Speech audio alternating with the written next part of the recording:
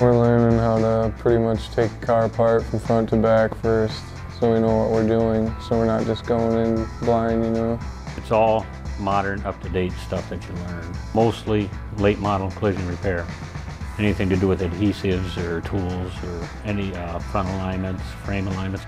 Very informative. They show you how different things work and operate before we even try to take a door panel off or a fender. You'll learn uh, removing and installing, and then you learn how to remove and repair and replace, and then from there, all the different stages involved in uh, the bodywork to the through painting. This will get you into the door for a lot of different aspects and just be a painter. You could get into the insurance aspect of it, be an adjuster. There's uh, graphic detailing. It was worth it. I wish I would have done it sooner.